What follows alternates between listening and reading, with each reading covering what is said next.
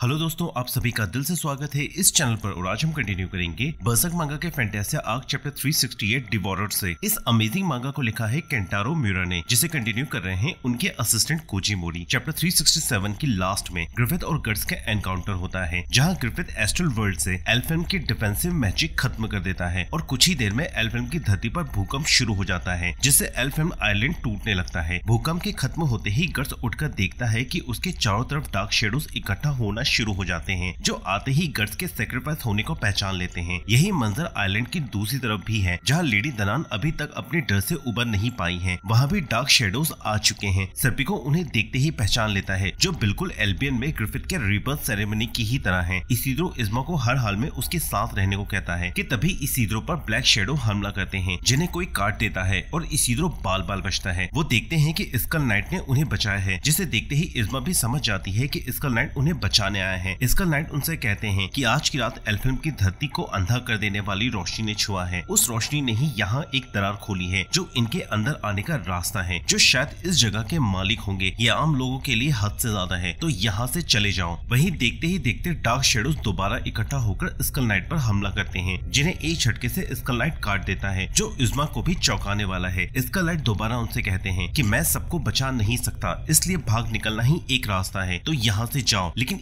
इसीद्रो इतनी आसानी से पीछे हटना नहीं चाहता और न ही इज्मा इसीद्रो को छोड़ना चाहती है। स्कल नाइट को लगता है कि ये कोलैप्स पहले ही होना तय था। क्या एक अमर आदमी का इसे रोकना भी नियति का हिस्सा ही है? डार्क शेडो से बेखबर। रोड्रिक के कहने पर आइलैंड को छोड़ने की तैयारी जोरों पर चल रही है और सुबह तक उन्हें हर हाल में निकलना है। रोड्रिक के मन में बेचैनी है। प्रोफेसी के चलते एल्फेम में भी कयामत बरसेगा। इसलिए कयामत से पहले वो जल्द से जल्द निकलना चाहता है। लेकिन मैग्निफिको को कुछ मालूम ही नहीं है। वो तो बस नशे में धुत है, जिसका साथ कैप्टन आज़ाद भी दे रहे हैं। मैग्निफिको को लगता है कि इंसान जहाँ अपने पैर रखते, उसे वहाँ अपनी जड़ें छोड़ देनी चाहिए। और रोड्रिक अपने दोस्त मैग्निफिको का भूत वहीं उतार देता है और तुरंत ही उसे भी शिप में लोड करने का आदेश देता है कि तभी एल्फेम में भूकंप के झटके उसे भी महसूस होते हैं, जो वहाँ बाकियों को भी डराने के लिए काफ़ी था। और तो और ये उथल पुथल समंदर के पानी में भी महसूस होता है। वो सभी किसी तरह समझते ही है की एक नाविक एल्फेम के डार्क शेडोज को दूर से ही स्पॉट कर लेता है, जो तेज़ी से उनकी तरफ़ ही बढ़ रहे हैं। किसी को कुछ समझ में नहीं आता कि आखिर चल क्या रहा है। क्या ये डार्क शेडोज भी मैजिक का हिस्सा ही हैं? शायद इनसे कोई खतरा नहीं होगा कि तभी रोड्रिक उन्हें रोकता है, लेकिन तब तक डार्क शेडोज काफ़ी पास आ चुके होते हैं और उन नाविक पर झपट्टा मार उन्हें अपने अंदर ले लेते हैं और डार्क शेडोज के हटते ही उनके सूखे कंकाल ही बचते हैं। ये देख रोड्रिक समेत सबके होश उड़ जाते हैं और अब सभी अपनी जान बचाकर वापस तट की तरफ़ भागते हैं। रोड्रिक देख सकता है की वो चारों तरफ़ से घिर चुके हैं, जहाँ मौत उनसे बस कुछ ही दूर है और इन आखिरी पलों में भी रोड्रिक को सिर्फ़ फानेसी की ही चिंता है। वही गर्ज भी अब चारों तरफ़ से घिरा हुआ है। तभी एक तेज आवाज़ गूंजती है और वो देखता है कि जॉर्ड एल्फेम छोड़कर जा रहा है, जिसके साथ ग्रिफिथ बेहोश कासर को फिर गर्द से दूर लिए जा रहा है और गर्द चाहकर भी कुछ नहीं कर पा रहा है। वो कासर को फिर से खो नहीं सकता, जिसे वापस लाने के लिए उसने ज़मीन आसमान एक कर दिया था और अब वो हेल्पलेस सा उसे ट्री ऑफ़ लाइफ के अदृश्य शाखाओं में गायब होते हुए देख रहा है। वही पक को भी एल्फिल्म की धरती पर भूकंप महसूस होता है, जहाँ देखते ही देखते एल्फिल्म की धरती फट पड़ी है और वो खुद ट्री ऑफ़ ब्लॉसम का अंत एल्फिल्म के साथ होते हुए देख रहा है। और यहाँ पर ये वीडियो खत्म होती है। दोस्तों, बर्सक मांगा का अगला चैप्टर 369 सितंबर में रिलीज़ होगा। तब तक के लिए मेरी दूसरी वीडियोस को एंजॉय कीजिए, जो और भी आने वाली हैं। ये वीडियो आपको कैसी लगी, मुझे कमेंट सेक्शन में बताएँ। अगर चैनल पर नए हैं तो चैनल को सब्सक्राइब करें। मिलते हैं अगले वीडियो में। तब तक के लिए गुड बाय